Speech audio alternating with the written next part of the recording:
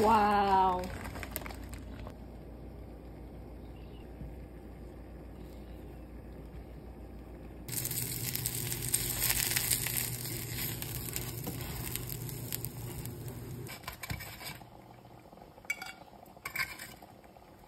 Lunch is ready.